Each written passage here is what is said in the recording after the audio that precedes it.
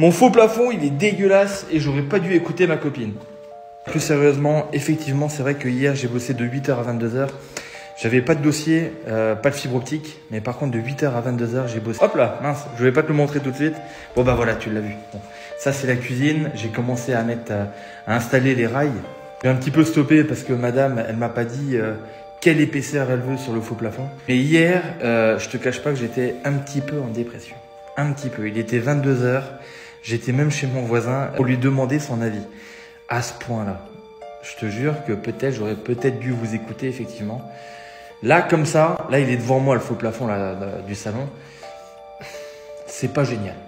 C'est pas génial du tout.